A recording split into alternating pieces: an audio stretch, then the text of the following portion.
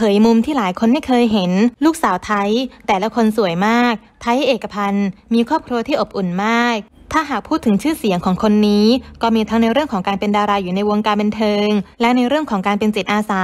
สำหรับไทยเอกพันธ์บรรลือฤทธิ์เป็นน้องชายฝาแฝดของบินบรรลือฤทธิ์พี่น้องคู่นี้ต่างมีผลงานที่โดดเด่นมาโดยตลอด ปัจจุบันเราก็ยังเห็นผลงานละคร ให้ได้ติดตามรับชมกันอย่างต่อเนื่องเลยค่ะ ถึงแม้ว่างานในวงการจะแน่นแค่ไหน แต่สิ่งที่ไม่เคยทิ้งเลย ก็คือการเป็นจิตอาสา เราจะเห็นทุกครั้งที่ชาวบ้านหรือประชาชน ได้รับความเดือดร้อน ไทยและกลุ่มเพื่อนจะลงช่วยเหลืออยู่ตลอดอดเวลาเลย แต่วันนี้จะพามาดูในมุมที่หลายคนไม่ค่อยได้เห็นกันสักเท่าไหร่ เจ้าตัวนั้นมีภรรยาที่ชื่อว่า คนึงนิดสิริพงปรีดา